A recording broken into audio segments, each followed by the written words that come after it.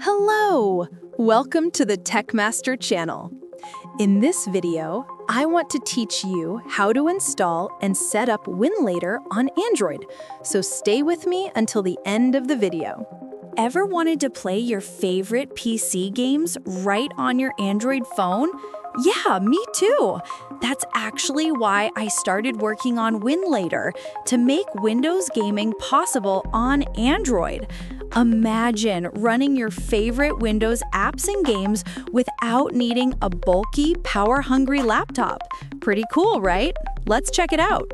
So what exactly is Winlator? Basically, it's this awesome emulator that lets you run Windows apps and games right on your Android device. It uses a mix of tools like Wine, Box86, and Box64, which means it can handle both older x86 games and newer 64-bit ones. And the best part? You don't even need a gaming PC for this. As long as your Android phone or tablet has a Snapdragon chip, just a heads up, Snapdragon 8 Gen 3 isn't supported yet, plus enough RAM and storage, you're good to go. You can literally bring Windows gaming straight to your Android. How cool is that? All right, before we dive into the setup, let's make sure your device is ready to handle everything smoothly. Here's what you'll need. Processor. A Snapdragon chip is highly recommended if you want the best performance. RAM. At least 6 gigs. That'll keep your gameplay running nice and smooth. Storage. Remember, PC games can be huge, so if you've got 256 gigabytes or more, you're in great shape. Once that's covered, you're ready to jump in. All right, now that you know what Winlator is and what you need to run it, let's move on to the fun part, installing and setting it up on your Android device so you can start playing Windows games. Step 1. First things first, you'll need the Winlator APK file. Just head over to the official download page and grab the APK. Step 2. Once it's downloaded, go ahead and install it, like you would any other app. If your phone pops up a warning about unknown sources, don't worry. Just head into your settings and enable installations from unknown sources. Super simple. Once that's done, you're one step closer to running your favorite PC games on Android. Once you've got Winlator installed, go ahead and launch the app. It might take a few minutes to get everything ready the first time you open it. That's totally normal. It's just setting up its environment. Don't worry, this only happens once during the initial setup, and after that, you're good to go. All right, next up, containers.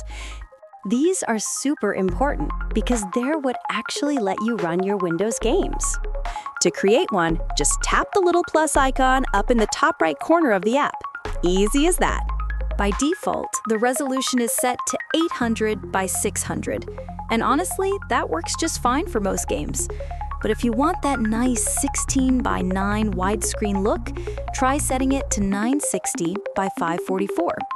It gives you better performance without really losing any visual quality. It's a great balance. Next up, let's pick a graphics driver preset that works best for your phone. If your device has an Adreno GPU, go with Turnip Adreno. If not, no worries. Just select VirGL Universal for all other GPU types. Easy. Now let's talk about the DX wrapper. This setting really affects game compatibility. For the broadest compatibility, go with Wine D3D.